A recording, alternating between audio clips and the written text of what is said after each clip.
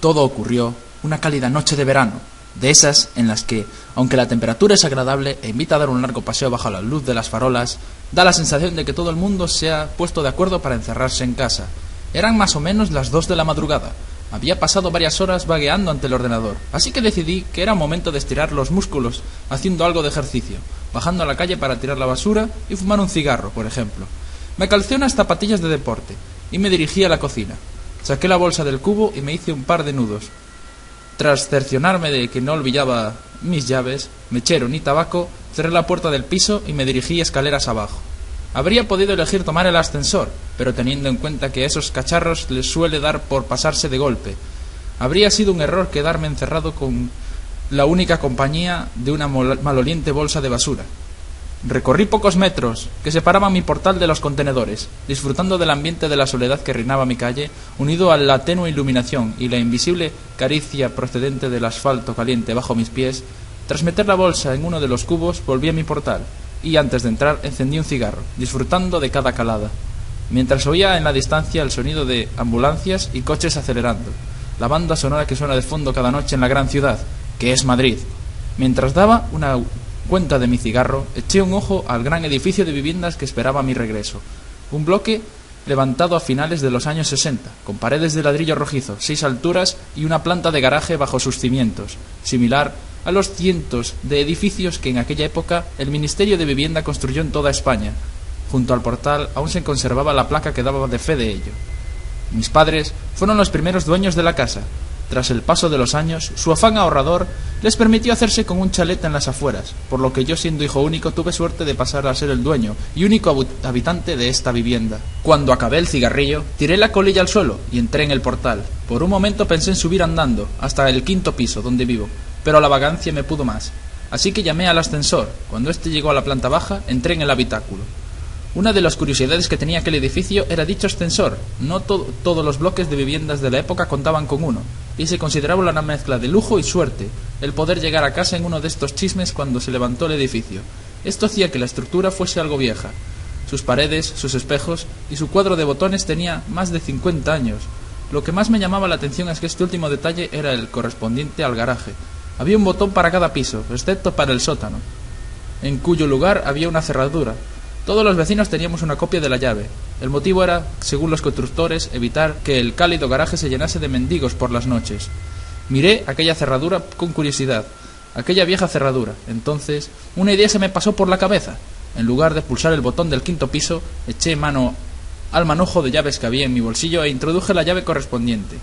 Para acceder al sótano había que girar la llave hacia la izquierda, pero ¿qué ocurrió si la giraba hacia la derecha? Hice la prueba, nada. La cerradura hacía tope, como era de esperar. Cabezota de mí volví a intentarlo, girando con más fuerza, con mucha más fuerza. En ese momento, de forma inesperada, la cerradura cedió, poniendo el ascensor en marcha. Sorprendido ante aquello, fijé los ojos en el indicador iluminado. Mientras el ascensor descendía, aquel paso de mostrar a un cero a pasar a un menos uno. Pero llegado a este piso, el ascensor no se detuvo. Durante casi un minuto el trasto continuó bajando, traqueteando y rugiendo como de costumbre. El indicador luminoso mostraba dos guiones intermitentes. Entonces, de repente, el ascensor se detuvo y su puerta se abrió. Ante mis ojos se extendía un largo y estrecho pasillo, apenas más ancho que el propio ascensor. La iluminación procedente del interior de este no bastaba para iluminar aquel pasillo que era engullido por la tenebrosa oscuridad y no se apreciaban escaleras que llegasen desde allí a un piso superior. ¿Hola? Mi voz retumbó por las paredes y desapareció en el oscuro espacio. A pesar de que la situación me imponía algo de respeto, la curiosidad ante el nuevo sótano recién descubierto pudo más. Decidió el, decidido a investigar aquel lugar, encendí mi mechero y abandoné la protectora luz del ascensor. Me giré un momento y vi que en aquella planta no había botón para llamar al ascensor, sino una cerradura. Mosqueado continué avanzando hacia la oscuridad. El ambiente era denso, húmedo, acompañado de una ligera fetidez. A unos veinte metros, el pasillo torcía hacia la derecha, desembocando en una galería a la que daban varias puertas, como en las cárceles que salen en las películas. Algunas puertas estaban cerradas y otras abiertas, y el suelo estaba lleno de polvo, cristales rotos y otros objetos. La mugre que invadía el lugar me disaudió de palpar la pared en búsqueda de interruptores de luz, por lo que confié en la pequeña llama que portaba mi mano. Al internarme en la galería, me agaché y acerqué mi mechero al suelo para examinar con más detalle qué eran aquellos pequeños bultos que pisaba. Irremediablemente a cada paso, descubrí jeringuillas, trozos de probeta, piezas de rompecabezas infantiles, muñecas. Aquello resultaba de lo más tétrico. Me incorporé nuevamente, disponiéndome a analizar las pequeñas dependencias que rodeaba la galería. Uno de los detalles que percibí fue la falta de ventilación o iluminación al exterior, aunque era de noche cerrada, no había rastro de las salidas al exterior por las que se colase luz de las farolas, ni ninguna corriente de aire que hiciese vibrar a la llama de mi mechero. Aquel era un lugar completamente cerrado, y a saber cuántos metros bajo tierra me encontraba en aquel momento. Recurrí varias de las salitas y vi todas que tenían el elemento en común, pequeños, anticuados y oxidados camastros, mesitas y sillas, y material médico, el lugar estaba infestado de gasas, correas, pastillas desperdigadas por el suelo. Aquello parecía un hospital en miniatura, un hospital antiguo y fantasmagórico, detenido en una época pasada en que la acumulación del polvo es el único indicador del paso del tiempo. Aún me arrepiento de entrar en una de aquellas dependencias. La luz del mechero mostraba sobre el mugriento colchón un bulto del tamaño de un ser humano envuelto en ropa de hospital. Me acerqué sigilosamente, temiendo lo peor, y arrimé mi mechero al gran objeto. El aumento de luz mostró una escena horripilante. Rodeado de heces y manchas de orina se mostraba ante mí un cadáver humano en posición fetal, que me daba la espalda, un hedor que era insoportable. Reprimí una arcada mientras permanecía en cuclillas ante aquella dantesca escena. De repente el terror invadió mi cuerpo. Aquel cuerpo se giró de forma brusca y, lo que en principio había clasificado como humano, mostró ser algo diferente, indefinido e indescriptible.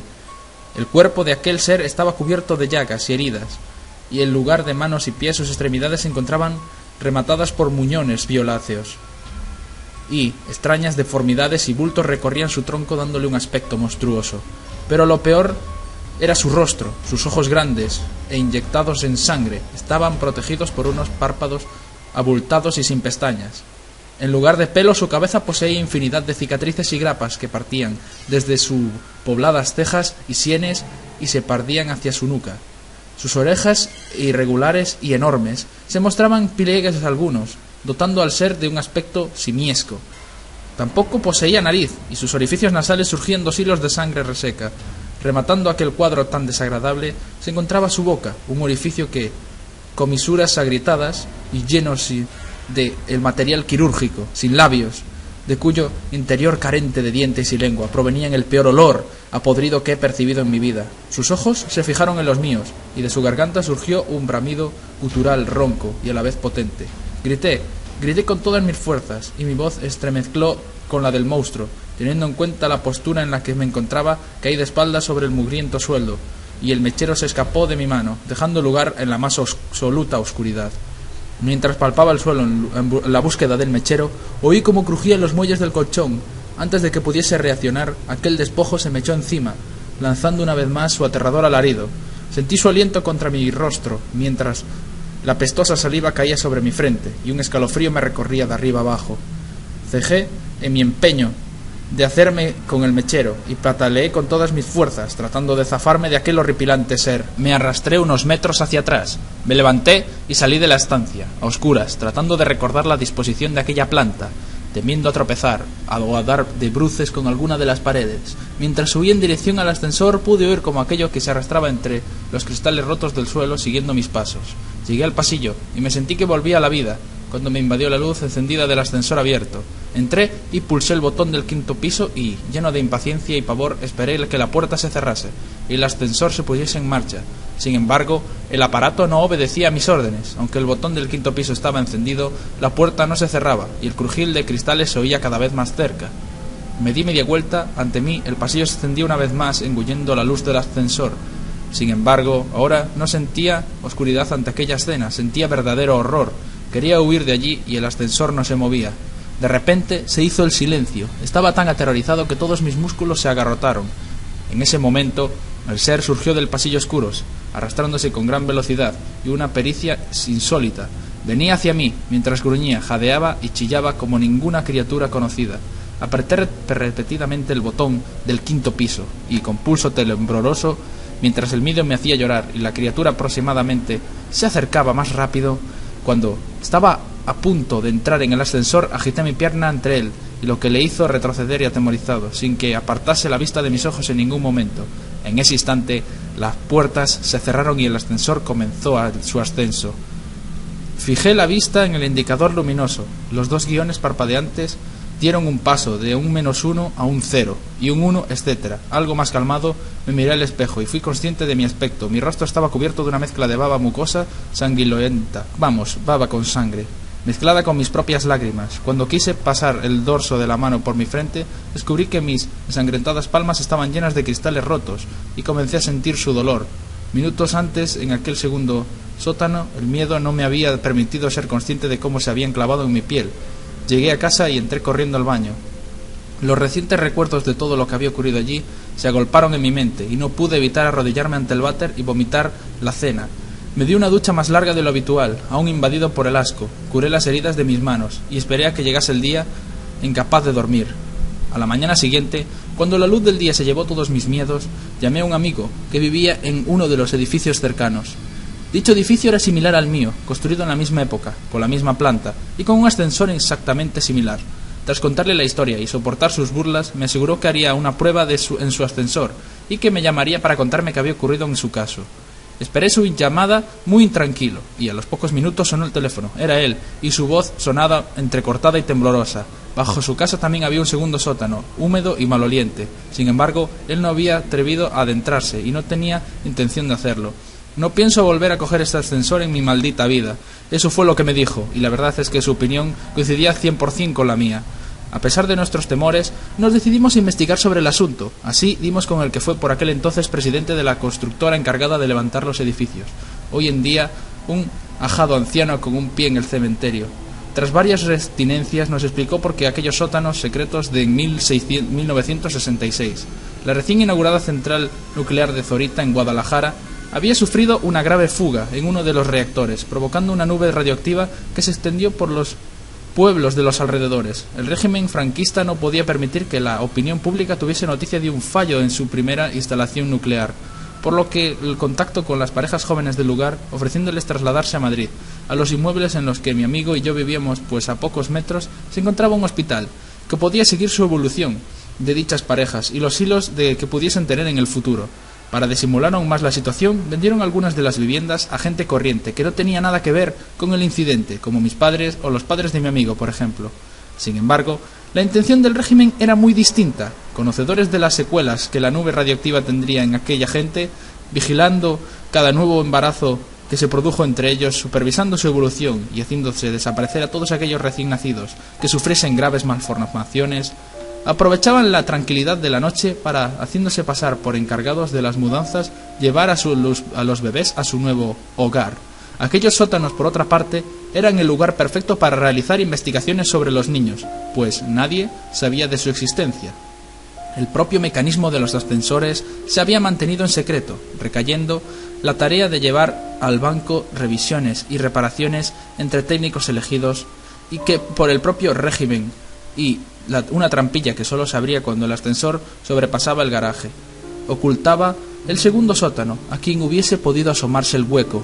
Sin embargo, tras la muerte del dictador Francisco Franco se canceló aquel proyecto, tratando de arrojar tierra sobre el asunto. Los sujetos en experimentación fueron sacrificados y toda documentación relativa al proyecto fue destruida. Casi todos los cabos quedaron atados.